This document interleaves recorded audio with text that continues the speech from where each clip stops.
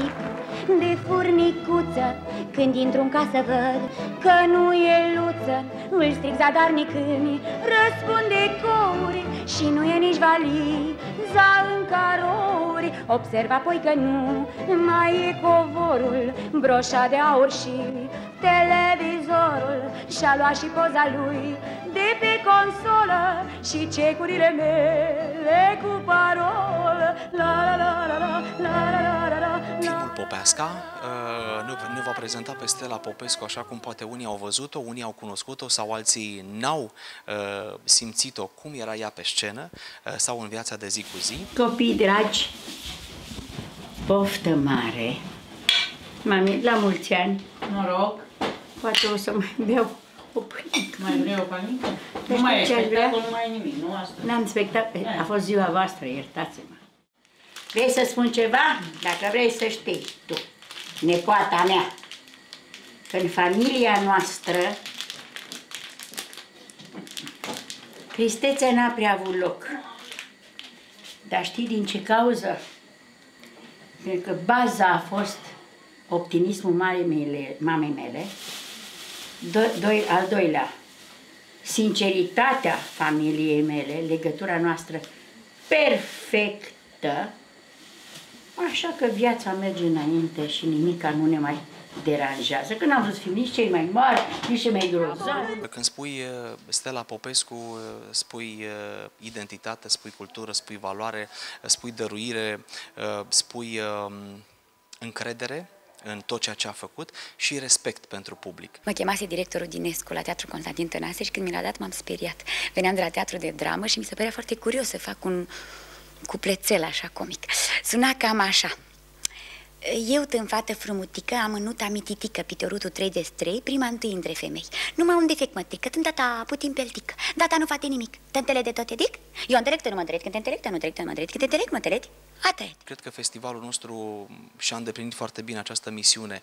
Să aducem și filme care poate nu stau foarte mult în cinema, uh, filme care poate lumea întreabă de ele că au auzit că s-au lansat, dar nu le poți vedea, de exemplu, la mall. Eu cred foarte mult în uh, fluidul ăsta care e între cei doi oameni, care apare sau nu apare.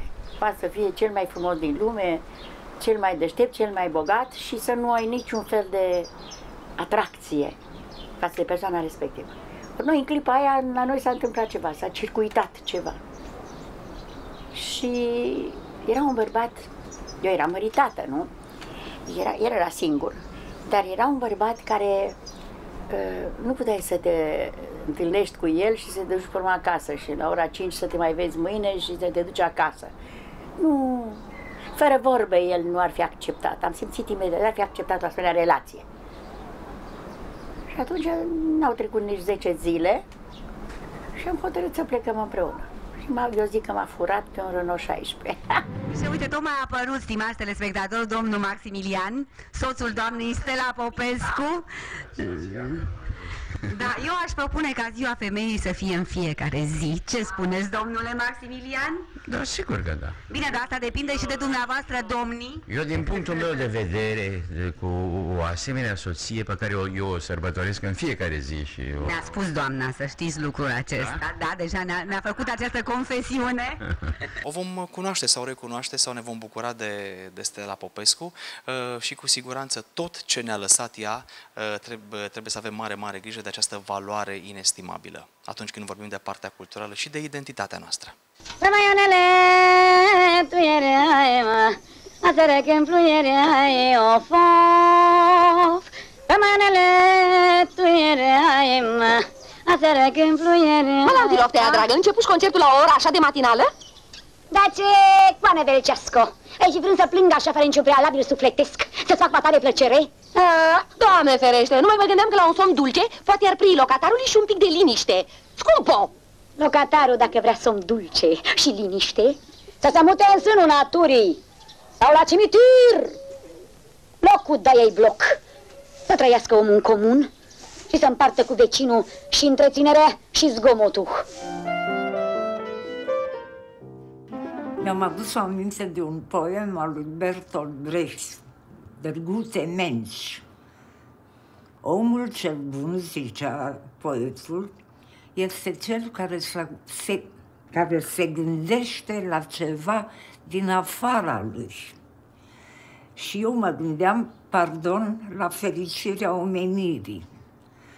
Și în narcisismul și misticismul momentului credeam că pot contribui la această fericire, care s-a dovedit iluzorie. Distanța dintre mine și mine a pornit uh, ca proiect uh, al uh, Adei Solomon, producătoarea filmului, uh, care și-a dorit încă de la începutul anilor 90 să facă un film despre Nina Casian, având o relație uh, aparte cu dânsa, uh, încă din junețe, citind uh, cam tot ce se putea citi. Există îndrăgostiți fericiți care rămân împreună și al căror sărut proaspăt sună. Auziți, auziți, E foarte adevărat că într-o oră și jumătate nu poți să rezolvi uh, uh, viața unui om obișnuit, necum a unei personalități ca Nina Casian. Cam asta a fost uh, sarcina mea, să construiesc din materialul uh, uh, pe care îl aveam la dispoziție, adică interviul făcut de Mona Nicoar, uh, cu materiale de arhivă, cu materialele de la CNSAS, uh, arhiva CNSAS, uh, uh, text scris, uh, vorbit și așa mai departe. Există perechi fără moarte, în mișcare mereie, cu o formă a inimii poate aparte, semănând a metaforă, semănând a idee. Aceștia rămân împreună, în sărât ca într-o dulce furtună. Auziți, auziți, auziți, există îndrăgostiți fericiți. Prima poezioară stupidă. Am scris-o când aveam 5 ani, învățasem să scriu. Dar tot așa am făcut o greșeală, adică suna așa, am păstrat-o, că maică mea a păstrat-o. Zăpada proaspătă se lasă pe câte o casă, pe câte o casă. Și geamul este înghețat. E liniște, toți sunt în pat. Doar eu, un om, un rădăcit, caut un loc de adăpostit.